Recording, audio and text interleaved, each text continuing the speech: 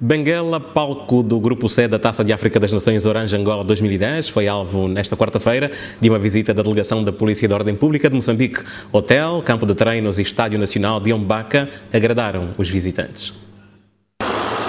Aqui ficarão hospedados os Mambas, seleção moçambicana de futebol. O Estádio do Buraco pertence do Académica Petróleos de Lubito, será o palco para treinos, ao passo que o Estádio Nacional de Benguela, que traduzido na língua nacional quer dizer Ombaka, será a catedral onde a equipa irmã vai evidenciar todo o seu futebol diante da Nigéria, Egito e Benin.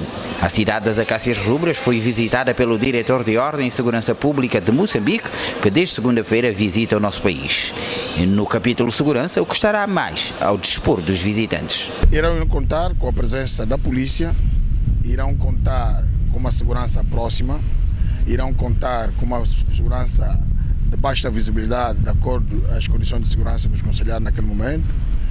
Apreciamos com eles os riscos que poderão ocorrer no longo do jogo ou no longo do, da, do percurso da realização do CAN a nível da nossa província e também informamos que esses riscos como é que serão controlados. O positivo da polícia que nós neste momento predispusemos para utilizar no dia, no dia 10.